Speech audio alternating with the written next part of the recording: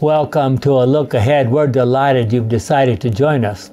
We study the Sabbath School lessons as prepared by the Seventh day Adventist Church, and this series is entitled In These Last Days The Message of Hebrews. Maybe you didn't think Hebrews was about the last days, but let's see if we can figure that out.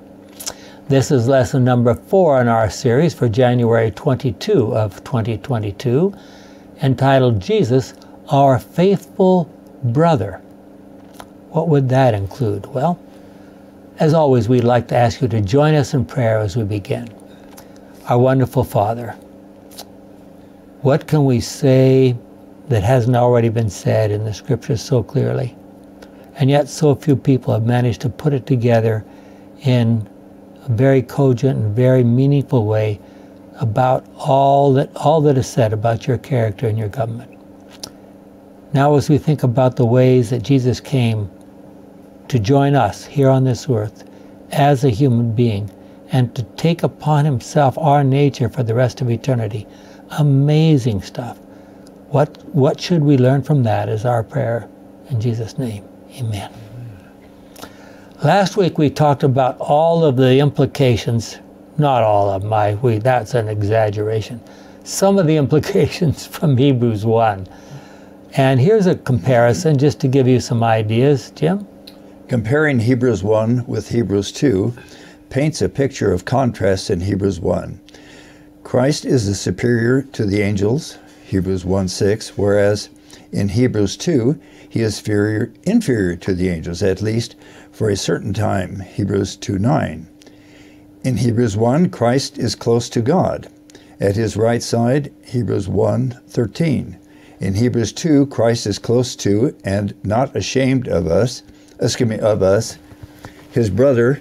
That includes excuse me, his brethren, too. Hebrews 2.11, contrasting the pre-incarnate Christ to human nature, Hebrews tells us that Christ adopted flesh and blood in order to be like us, Hebrews 2.14. Jesus, that is Christ, also died as we humans do. Hebrews 2:14. Yeah, let's be clear. Um, this is just a technical point, but technically, Jesus is the, his is his human name and Christ is his divine name. It's not really correct to say that Christ died. That's his divine nature. Divine nature can't die. Jesus is the one who died. Um, so that's why I put that little word Jesus in there well, Christ is, is comes from the what Mashiach, the the Hebrew Messiah, the, the anointed, yeah. uh, and uh, Jesus, uh, or it comes from Yeshua or Joshua, yeah. which means healer. Yeah. Right. Christ also died as we do, as we humans do. Hebrews two fourteen. But the big difference between our death and his death, that his and his is that his death accomplished what our death never could. His death freed us, who, excuse me, freed us all who all, who all in lives were held in slavery by the fear of death. Hebrews 2:15 uh, from the New Art Revised Standard Version. Christ is like us, yet because but different from us. He was truly human, without, yet without sin. Hebrews 4:15. Like Moses, who chose shame over the over fame. Hebrews 11:25. Christ despised the shame of, of becoming human and dying on the cross, but accepted it anyway. He became like us so that we might become like him. In our becoming like him, he is not ashamed to call us brethren. Hebrews 2:11. Even when we might put him to open shame, Hebrews 6 6 of the New American Standard Bible, Humans go through trial and testing, which produce endurance and finally maturity of character. Paul describes Jesus in a similar manner. He learned obedience through though excuse me, through what he suffered and was made perfect, Hebrews 5, 8, and 9, New Revised Standard Version. Now, excuse me, how did Jesus learn obedience? at some point in time he was was, he? was, he? disobedient? Don't don't make that, a statement, make it a question. I didn't want to make a statement out of it. that notion should contradict Hebrews 4:15 which says Jesus was tested in every point as we are yet he remained without sin adult bible teachers study guide and I couldn't think of a better way to put those contrasts so I just quoted from our Bible study guide. Incredible contrast. Paul Paul is just saying look at this and look at this and look at this and look at this and contrasting his divinity with his humanity. In the Old Testament, God made provisions for the Israelites that a person could be bought back if, for one reason or another, he had to sell his property or even himself into slavery to pay his debts. And unfortunately, there's very, very sad stories going on even now in Afghanistan after the what happened there. People selling their children, yes. selling their young, young, young girls to become some older man's wife, etc., to pay their debts. It still goes on. To buy food. Even. To buy food, yeah. Yeah. That's a, quite a religion, isn't it? Yeah. It's a political system, but. Well, okay. In the Old Testament, God made provisions for the Israelites. We mentioned that. Uh, let's read about that. Carrie? Reading from Leviticus chapter 25, 20, verses 25 to 27 and 47 to 49. If an Israelite becomes poor and is forced to sell his land, his closest relative is to buy it back. Anyone who has no relative to buy it back may later become prosperous and have enough to buy it back. In that case, he must pay to the man who bought it a sum that will make up for the years remaining until the next year of restoration, when he would in any event recover his land. Suppose a foreigner with you becomes rich, while a fellow Israelite becomes poor and sells himself as a slave to that foreigner or to a member of his family. After he is sold, he still has the right to be bought back. One of his brothers, or his uncle, or his cousin, or another of his close relatives may buy him back. Or if he himself earns enough, he may buy his own freedom. That's from American Bible Society, Holy Bible, the Good News Translation, okay. New York American Bible Society. Okay. Now, you can guess what's going on here. This, our lessons are preparing us for the idea that someone else came as our close relative to buy us back. And let's think about the implications of that. Remember that every 50 years, the property was to be, in the Jewish system, property was to be returned to its original owner, whether or not he could pay. However, 50 years is a long time to wait. So God made the additional provision that a person or even his property could be bought back. That special provision was known as the nearest relative provision. Remember the story of Ruth and Boaz, the nearest relative willing to pay for the land that Ruth's family had owned. That nearest relative would also be the one responsible for pursuing anyone who might have murdered a relative. He came to be known in that case as the avenger of the blood. Numbers 35, 9 through 15. That was the reason God provided cities of refuge in the land of Palestine. So, because they didn't have an overall Supreme Court and all that kind of stuff that we are used to having today, where you could appeal to things, it was expected that if you did something that needed to be paid on your behalf, or you get killed and someone needs to deal with the murder on your behalf, it's the nearest relative who is supposed to take up that responsibility. So that person is a key to, you know, many aspects of, of a person living under those circumstances. So, what lessons did Paul want us to understand from those ancient Hebrew provisions? Hebrews 2 14 through 16 says, Since the children, as he calls them, are people of flesh and blood, Jesus himself became like them and shared their human nature. He did this so that through his death he might destroy the devil, who has the power over death, and in this way set free those who were slaves all their lives because of their fear of death. For it is clear that it is not the angels that he helps, instead, he helps the descendants of Abraham. Okay, now some of you who might have listened to last week's lesson remember that we have specifically said that Christ came to live and die to say something to the entire universe. So let's not forget that as we move our way through this lesson. Let us for not, not forget that we have sold ourselves into slavery to the devil. Jesus is offering now to come and serve as a kinsman redeemer. That's the traditional way that that's translated. But unfortunately, like Paul, we are slaves to sin, Romans 7 14 to 24. It is not easy for us to overcome those natural tendencies, but we need to recognize the truth spelled out in Romans 6 23. And what is that truth? For, the, for sin pays, pays its wage, death. But God's free gift of eternal life in union with Christ Jesus our Lord. Good News Bible. So now you got a contrast. Here's sin, what it does, and there's God and what He does. Now, which one should we be afraid of? be afraid of sin. Yeah. How is it that we love sin and we're afraid of God? We got this completely backwards. But the amazing thing is what we read in Hebrews 2:11, and I quote, "He purifies people from their sins, and both he and those who are made pure all have the same Father." So Jesus is saying, "Okay, I put my arms around all of you, and I want you all to join me in returning to our Father." That is why Jesus is not ashamed to call them his family. Think of that. Jesus, the Son of God, as spelled out in Hebrews 1, chose to take our nature and become fully human as well as remaining fully divine to come as close as possible to us. Several passages in the Old Testament talk about this. Jim?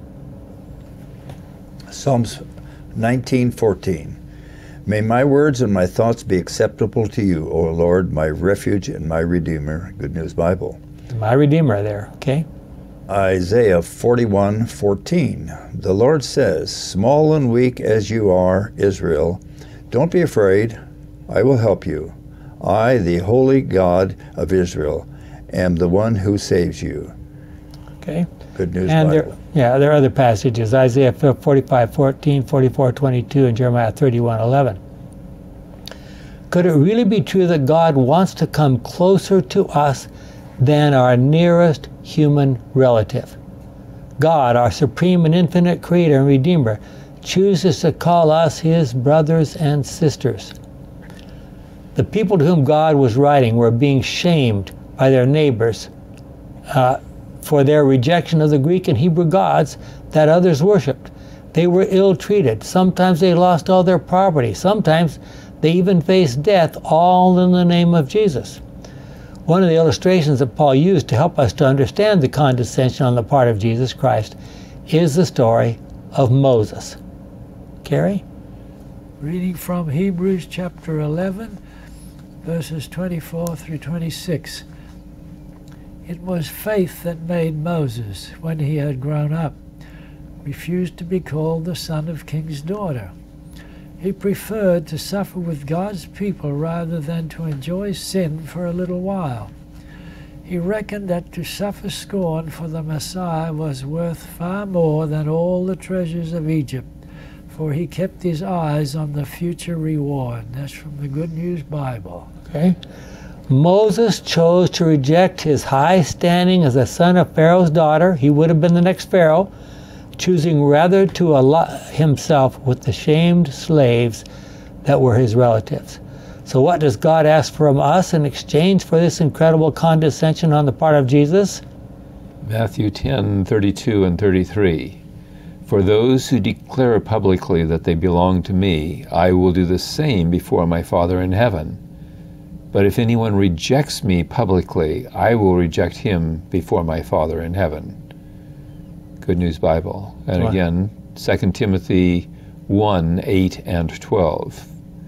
Do not be ashamed then of witnessing for our Lord, nor be ashamed of me, a prisoner for Christ's sake. Instead, take your part in suffering for the good news, as God gives you the strength to do it. Let me interrupt for just a second. Second Timothy, when was that written in Paul's life? What point in Paul's life? Pretty late, wasn't it? very late. This is the very last thing he wrote. He knew that he was he was just about to lose his head, just about to be cut off, and so he has at, at least he's been in prison almost continuously for about six years.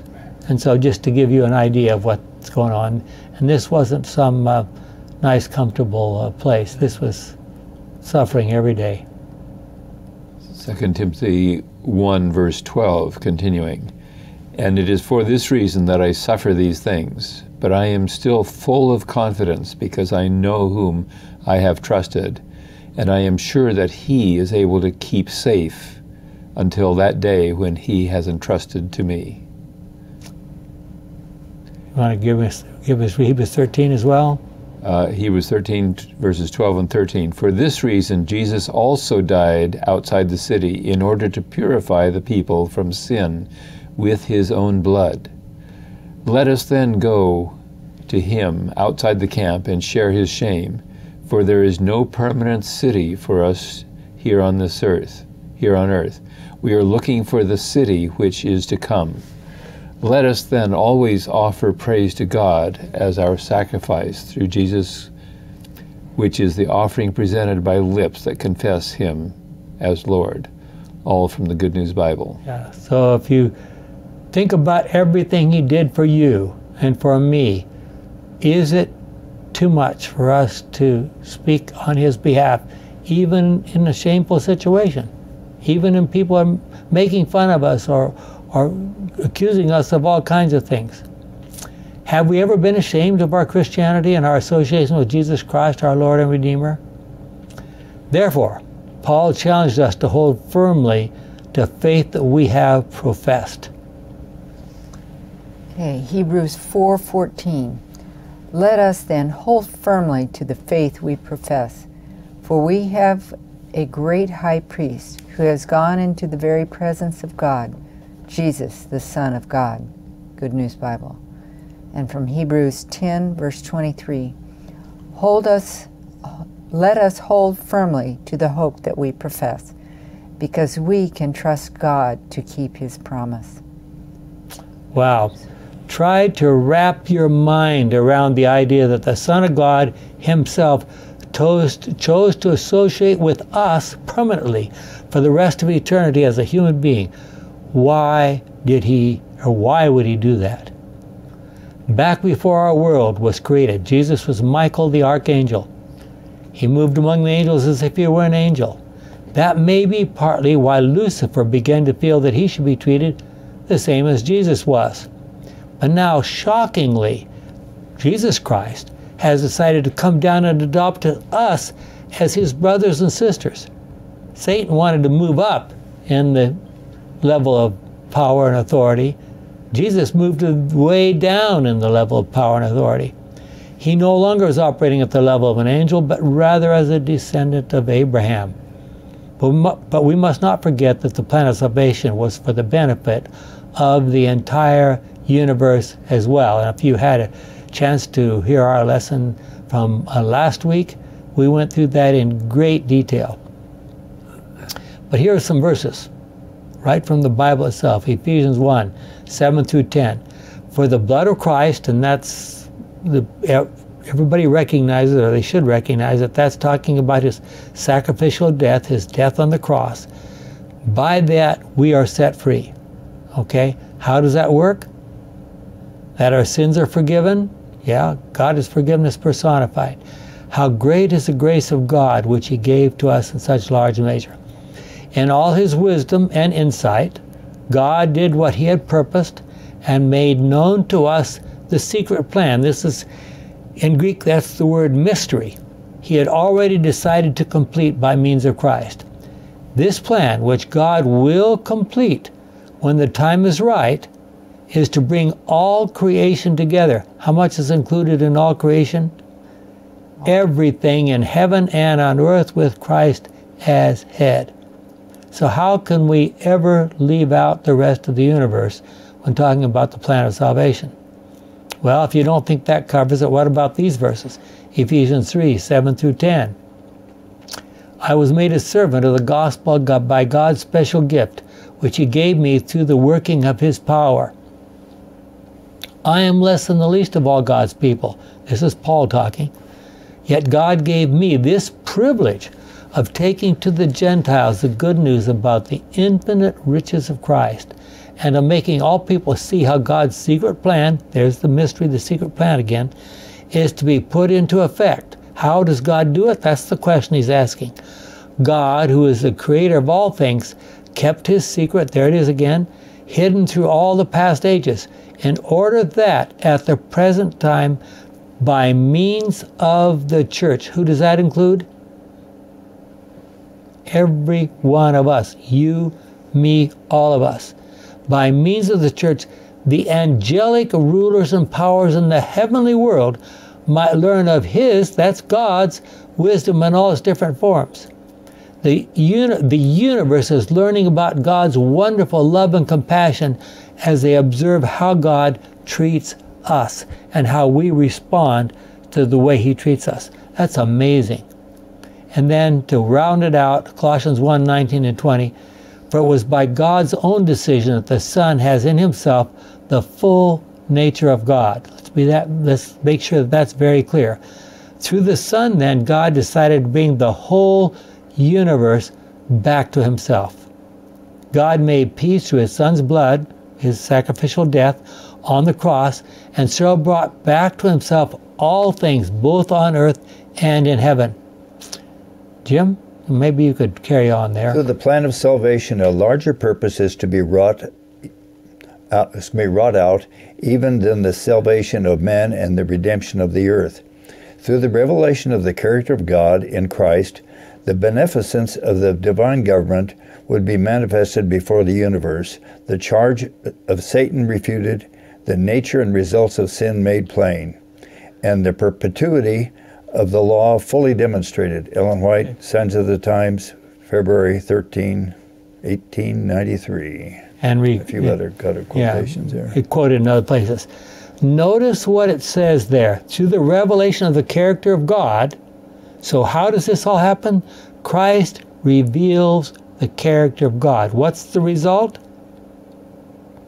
The beneficence of the divine, divine government be manifested before the universe. In other words, the truth about God's rule. The charges of Satan refuted, the nature and results of sin made plain, and the perpetuity law fully demonstrated. That's spelled out pretty comprehensively, I would say. Okay, go ahead. But the plan of redemption had a yet broader and deeper purpose than the salvation of man. It was not for this alone that Christ came to the earth. It was not merely that the inhabitants of this little world might regard the law of God as it should be regarded, but as it was to vindicate the character of God before the universe. To this result of his great sacrifice, its influence upon the intelligences of other worlds, as well as upon men, the Savior looked forward to when when just before forward when just before the crucifixion he said, Now is the judgment of this world, now shall the prince of this world be cast out. And I, if I be lifted up from the earth, I will draw all unto me. John 12, 31 and 32. And you know how in the King James they didn't understand the translators there didn't understand. It was, well, it's, it's got to be all of us, right? So they put in the word men. Will draw all men unto me. But they were honest enough to put in italics, which means what? It was supplied. It was supplied. It was not there. And here we see in the context, it clearly applies to how many? The whole universe. The whole universe. And that's what Jesus was talking about. Okay, go ahead. The act of Christ in dying for the salvation of man would not only be make would not only make heaven accessible to men, but before all the universe it would justify God and his Son in their dealing with the rebellion of Satan. It would establish the perpetuity of the law of God and would reveal the nature and the results of sin. Ellen White, Patriarchs and Prophets, page 68, 69. And unfortunately, I will say that uh, that passage will draw all unto me when it's repeated, when this material is repeated in some books by Ellen White, they put the men back in there. specifically in reflecting Christ, Yeah. page 50. Yeah. Well, the plan of salvation clearly involves the entire universe and not just human beings.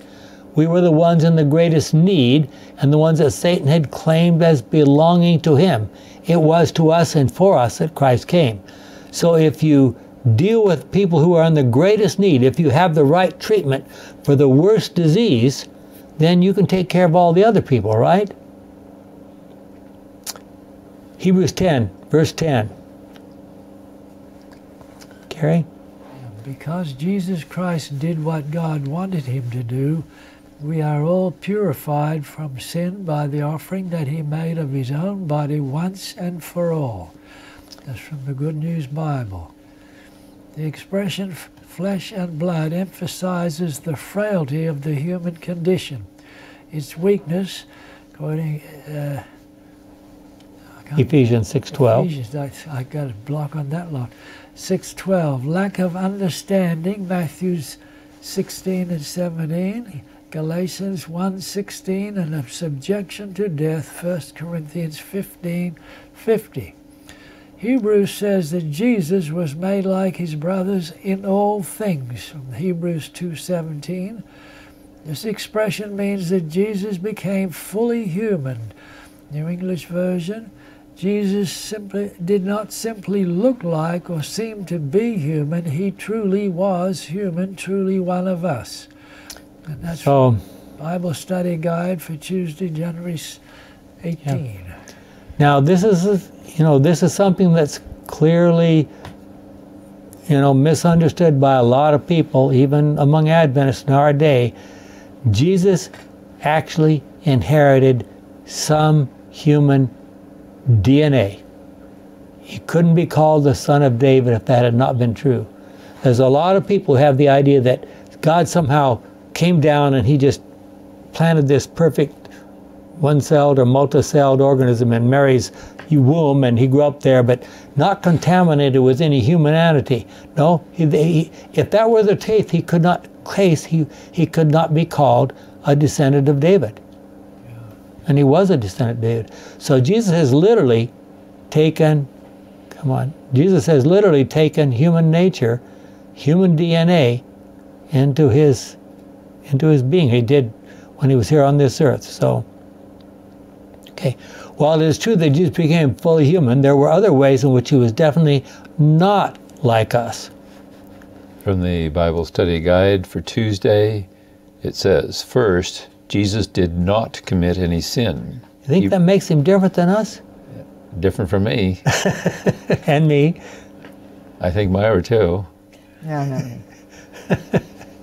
That's from Hebrews 4:15. Second, Jesus had a human nature that was quote holy, innocent, unsustained, separated from sinners. Hebrews uh, 7:26 in the English Standard Version, I believe it is ESV. Yes. We all have sinned and we all have evil tendencies. We got them from our parents, Adam and Eve. So, what Jesus needed to do to destroy the devil? Now, here's an important point. He needed to, one, fully, completely, and convincingly refute all of Satan's accusations, and two, answer all of Satan's questions against the government and character of God. Thus, Jesus broke the power of sin, gave us guidance to live a righteous life according to his new covenant promise. We have the example of Jesus before us, his promise to become one of us. In fact, he has he promised to be a faithful and merciful high priest. And we're going to I just tell you we're going to get into that in a great deal more uh, in future lessons in order to help us. So why is it that so many of us still struggle with sin? I mean, aren't all these promises to God still valid? How can we do better? Unfortunately, Satan is alive and well on planet Earth. We are born in sin.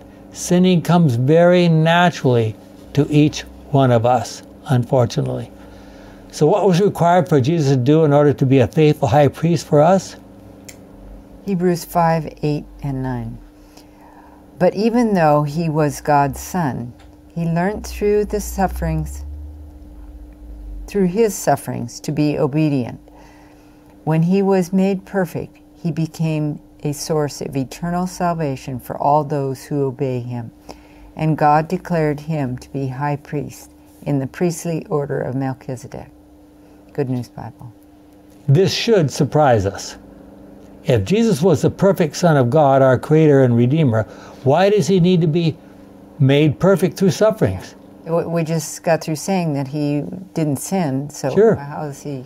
He certainly did not have to overcome any sins or any moral or ethical imperfection. It is important to recognize in the setting of the New Testament Greek that the word perfection means maturing, growing up as a sinless human being. Did Jesus grow up at every human stage from infant to womb, from the womb to infant to toddler to young person to every stage?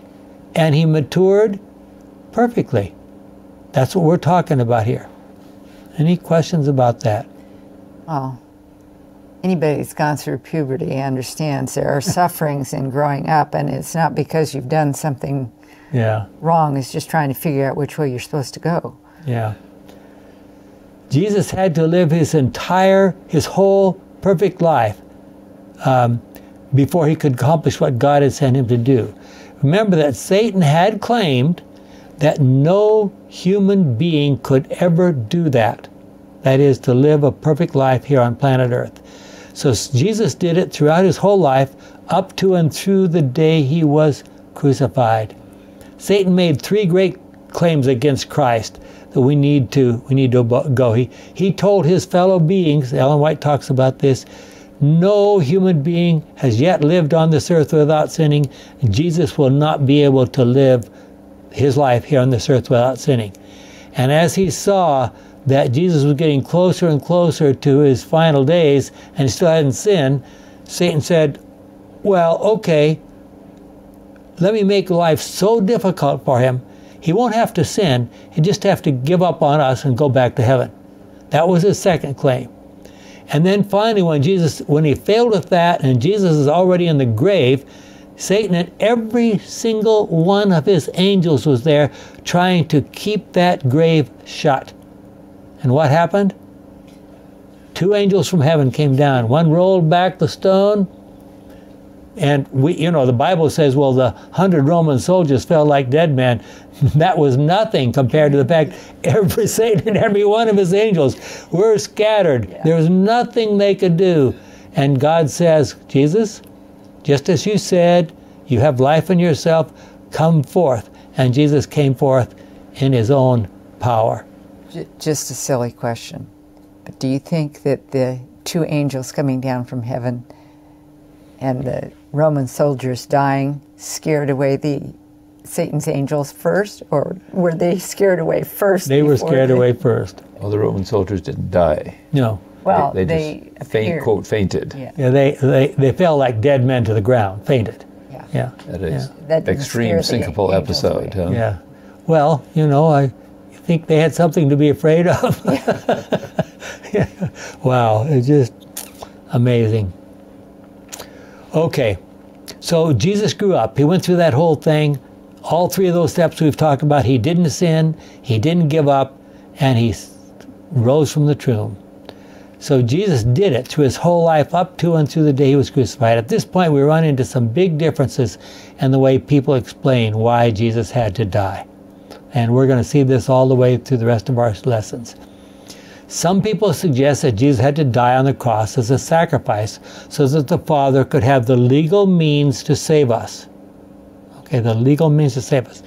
Jesus became the perfect offering, the only one qualified to die in our place.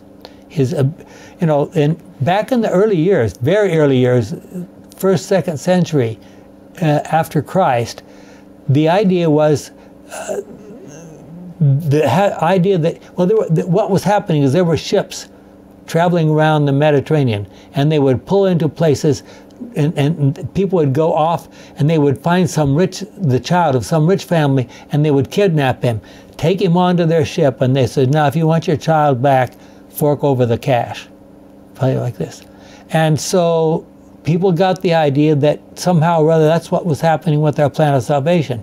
We sold ourselves into Satan's hands, and God says, okay, let me make you a deal. I will give you my son in exchange for all of humanity. And Satan says, well, that's what I always wanted. I wanted to have the place of Jesus. Sure, fine. Take all the human beings. And course, what Satan just finds out is that he can't hang on to Jesus. Jesus escapes, and so God wins the great controversy by tricking the devil. So that's one view. Well, that's that was the view. It was back in those days. It's not the view we hold to today, but that's what a view. Many people had that view many, many years ago. Jesus has adopted our humanity, has lived among us, and has proved that it is possible, in contradiction to Satan's claims, to live a perfect life as a human being. We needed, and we still need, to see what God is like, lived out in the perfect human life. Jesus was able to destroy the devil because he was able to refute all the misrepresentations of God that the devil had been claiming. And if you heard our lesson last week, all those claims God is arbitrary, vengeful, unforgiving, severe, etc., etc. Did Jesus exemplify any of those things? No, absolutely not. So, the truth ultimately destroys lies. That's what we need to know. The truth lived out by Jesus destroyed the lies that Satan had been trying to perpetrate. In Hebrews 11, Paul briefly sketches sketched the lives of some of the saints whose histories are recorded in the Old Testament. He focused particularly on Abraham. Then he told us to keep our eyes fixed on Jesus. Hebrews 12, 1 to 4. Uh, and let's just take a moment. I think we've got time. Let's read that. As for us, so if you remember the sequence, he, he's talked about angels. He said Jesus is superior to the angels. He's talked about Moses. Jesus is superior to Moses. Jesus is a perfect example of our high priest, a perfect example of how persons should live. But let me give you some examples of people who might surprise you. And then he goes through the list in Hebrews 11. But he says, let me give you now the perfect example. And he goes to Hebrews 12. As for us, we have this large crowd of witnesses around us, the people he's just been talking about. And who are some of those people? Believe it or not, Samson and and, and uh, Rahab and David and so forth. And the Israelites. Yes. So then, let us rid ourselves of everything that gets in the way and of the sin which holds on to us so tightly. And let us run with determination the race that lies before us. Let us keep our eyes fixed on Jesus, on whom our faith depends from beginning to end. He did not give up because of the cross. On the contrary, because of the joy that was waiting for him, he thought nothing of the disgrace of dying on the cross. And he is now seated at the right hand side of God's throne. Think of what he went through, how he put up with so much hatred from sinners. So do not let yourselves become discouraged and give up. For in your struggle against sin, you have not yet had to resist to the point of being killed. Wow. Have not yet had to resist to the point of being killed. Considering what he went through, is there any reason for us to complain? In Hebrews 6:20, Jesus is described as a forerunner or pioneer of the course that we need to run. He showed us what living by faith is all about. By the way, where, did where did Paul say and he was Jesus was going? Into the most holy place before us. What does that imply? We'll talk about this more later, but we're supposed to go there too, straight into the presence of the Father. Well, try to imagine how challenging it was for Jesus to maintain his trust in God while he was dying, hanging on the cross. Can we make daily choices that confirm our trust or faith in God? How do we do that on an hour by hour, minute by minute basis? Some people have the idea that we make maybe one major decision at some point in our life. That's a very commonly taught idea. Well, I accept Jesus Christ, and then, okay, nothing, never have to worry about anything more. Once saved, always saved, right? No, we make those choices every day on an hour by hour, minute by minute basis. Are we choosing the selfish way, the Satan way? Are we choosing the God way, the loving way? We make those choices every day, every minute almost. Um, in the days in which Paul was writing, there was a Roman custom that people were aware of. If a father should die with a number of young children, an older son or perhaps a brother was appointed as a guardian. A tutor, often an older brother, became responsible for the care of minor children and their inheritance until they reached the age of majority, thus heightening the older brother's natural duty to take care of his younger siblings. And that's from a commentary, Godly Fear, the Epistle to the Hebrews and Greco Roman critiques of superstition by. Um, does he even not even mention who the name of the guy? But anyway, it's quoted in our Bible study guide for Friday, January 21. Surely Jesus Christ is our elder brother. He is our tutor, our guardian, our protector, our redeemer, creator, savior. How much more can he be? So, Jim? Christ came to the earth, taking humanity and standing as man's representative to show in the controversy with Satan that man, as God created him, connected with the Father and the Son, could obey every divine requirement. Ellen White, Selected Messages, page, Book 1, page 253. And why is that an issue? Satan had clearly claimed that it was impossible. Sure. Yeah in his life and lessons, well, that's your, go ahead, Jim. You can. In his life and lessons, Christ has given a perfect exemplification of the of the unselfish ministry, which has its origin in God. God does not live for himself. He created the world, and by untouching, by, by upholding, excuse me, and by upholding all things, he is constantly ministering for others. He maketh his son. You could he maketh his sun to rise on the evil and on the good, and sendeth him rain on the just and on the judge, unjust. Matthew 5:45. The ideal of ministry God has committed to his son Jesus was given to stand at the excuse me at the head of humanity that by his example he might teach what it might excuse me, teach what it means to minister. Ellen White, The Desire of Ages, page 649. Okay, very good. Wow. Considering all of this, how foolish it would be if we turn our backs on his offer. There are at least four questions that Hebrews 5 through 7, 5, 7 through 9 raises. Let's look at that again. In his life on earth, Jesus made his prayers and requests with loud cryings and tears to God. Now, when did that happen? When was it that he made his prayers and requests with loud cries and tears to God, who could save him from death? On the cross? Gethsemane and on the cross. Probably we know about his make those kinds of appeals in Gethsemane, don't we? But we, we don't know that th- this is the first time where it says he, he made it with loud cries and tears. We know that he would tear, he sweat great drops of blood, right? Do we have any evidence that he made loud cries?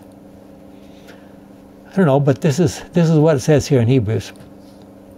Because he was humble and devoted, God heard him. But even though, I mean, that's, you think God would listen to his son? But even though he was God's son, he learned through his suffering to be obedient. We've talked about that. When he was made perfect, fully mature, fully grown, he became the source of eternal salvation for all those who obey him. And God declared him to be high priest in the priestly order of Melchizedek. Now we're going to talk about Melchizedek quite a lot in the future, but why, why is Jesus called a priest in the order of Melchizedek? because Melchizedek was not a Hebrew. He wasn't even a, well, he wasn't a Levite. He wasn't even a Hebrew. Right, exactly. So here's Jesus. He's in the he's in the tribe of Judah, so he could have qualified as a king, but he wasn't from the tribe of Levi. So how could he be a high priest? And he's going to claim to be both. So what does Paul do? Says that was not known either. Yeah, Eh, that's he says. So the what? How do we solve that problem? He's in the order of Melchizedek. we don't know about his ancestors. We don't know about about his descendants. Okay. Okay, there are at least four questions that Hebrews five through seven, seven through nine raises. First, what does it mean when it says that Christ offered prayers to God who has who was able to save him from death and he was heard? Didn't Jesus die? Well, we do not know really anything about those prayers that he prayed in the Garden of Gethsemane. We do know that his stress was so great that he was sweating drops of blood, and at the end of that session, he fell dying to the ground. Okay? Uh, who's next? Gary? We can have but faint conception of the inexpressible anguish of God's dear Son in Gethsemane as he realized the separation from his Father in consequence of bearing man's sin. I'm going to interrupt there for a second. What's happening here? He's being separated from God. Is that because he's a sinner? Of course not. He was not a sinner. But God says, Let me demonstrate to you what happens when I allow sin, Isaiah 59, verse 2, allows sin to separate between me and you. This is what happens. Okay, we're going to have a demonstration. Go ahead. The divine Son of God was fainting, dying. The Father sent an angel from his presence to strengthen the divine sufferer. Could mortals view the amazement and sorrow of the angels as they watched in silent grief the Father separating his beams of light, love, and glory from his Son? They would better understand how offensive is sin in his sight. As the Son of God in the Garden of Gethsemane bowed in the attitude of prayer, the agony of his spirit forced from his pores sweat like great drops of blood. It was here that the horror of great darkness surrounded him. The sins of the world were upon him. He was suffering in man's stead as a transgressor of his Father's law. Here was the scene of the temptation.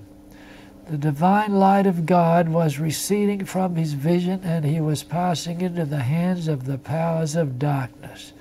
The wrath would have been fallen upon man was now falling upon Christ.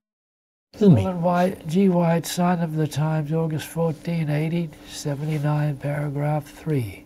Okay, now let's let's tear that apart for just a moment. We've got a, a little extra minute or two here. What this is, what's happening here? God, Jesus is being treated as if he were a sinner. The light of God's presence is receding from him. What does that mean? God is leaving him. He says, I want you to see what happens. There's, this isn't God piling some pile of sins on him and then say, okay, now I'm taking all these sins and I'm piling them on you. He doesn't have to move sin. You can't move sins around. You can't make God, Jesus responsible for sin. You can treat him as if he were a sinner. That's what's happening here. And that's very important. So you want to know? And, excuse me, uh, elsewhere, Ellen White says very clearly that sinners will die the kind of death that Christ died, right there in the Garden of Gethsemane and then ultimately on the cross. Second, how did Jesus learn obedience? He lived that perfect life from infancy through dying on Golgotha without sinning even once. I'm sorry. He proved that it was possible for a human being to do that.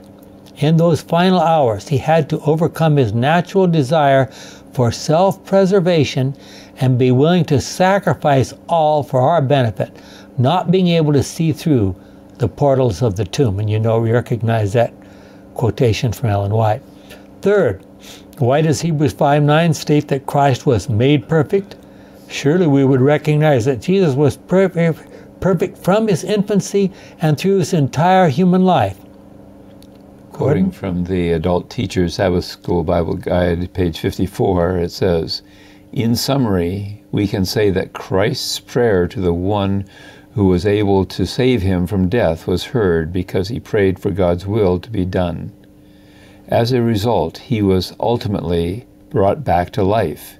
He learned obedience by submitting to and trusting in God's will. Finally, Christ was made our perfect high priest through obedience to God so that he could become, quote, the source of eternal salvation for all who obey him, end quote, meaning us. Hebrews 5 9. Okay. Fourth, well, I, let me just make a comment about that. Um, we've already talked about what we mean by saying that he will be made perfect. That is, he will do what? He grew up. He matured.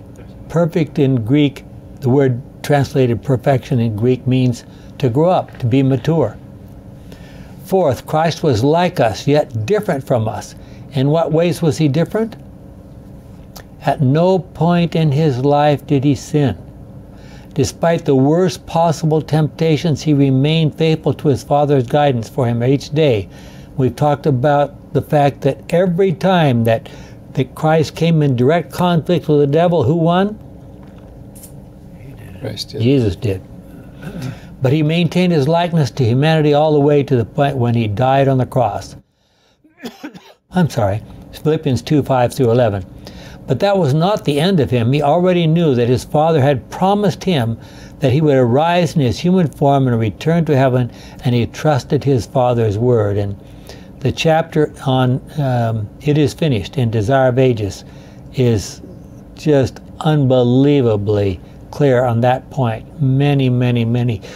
Uh, that's something we all should have memorized, that whole chapter. Okay, Myra?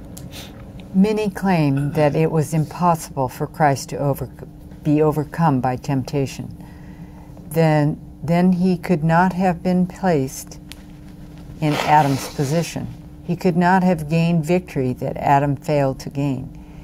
If we have, in any sense, a more trying conflict than had Christ, then he would not be able to secure, Succor us. Succor us, To, to help us. to help us. Okay. To our Savior took But our Savior. But our Savior took humanity with all of its liabilities. He took the nature of man with the possibility of yielding to temptation. We have nothing to bear which he has not endured. Desire of Ages, page 117, paragraph. Wow. Many people would say that's heresy, but it's true. Christ endured more than any of us would ever be asked to endure. But we need to remember that those who will live through the time of the mark of the beast and the seven last plagues at the end of this earth's history will be described as enduring also. And it won't be easy. Revelation 14:12. To many people, all of this suggests that the Father is a stern judge, high and lifted up, and the Son needed to do all these things to meet the legal requirements of the Father. That is not a correct description of the situation. In conclusion, let us look at a couple of statements from Ellen White and some words from Paul and John about what Christ accomplished by coming to this earth. Hebrews 4 14 to 16. Since then, we have a great high priest who has passed through the heavens, Jesus, the Son of God. Let us hold fast our confession, for we have not a high priest who is unable to sympathize with our weaknesses, but one who in every respect has been tempted as we are, yet without sin. Let us then with confidence draw near to the throne of grace, that we may receive mercy and find grace to help in time of need. That's from actually the RSV, the Revised Standard Version. And what are we saying there? We're saying it wasn't like that God needed to learn something that he didn't know before. It's that we needed to see the truth about God. So he came to this earth so that we might learn something.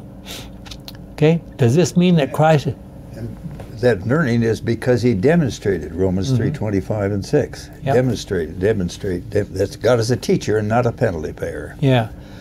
Does this mean that Christ is more sympathetic now than he is back than he was back in heaven than he was before coming to this earth?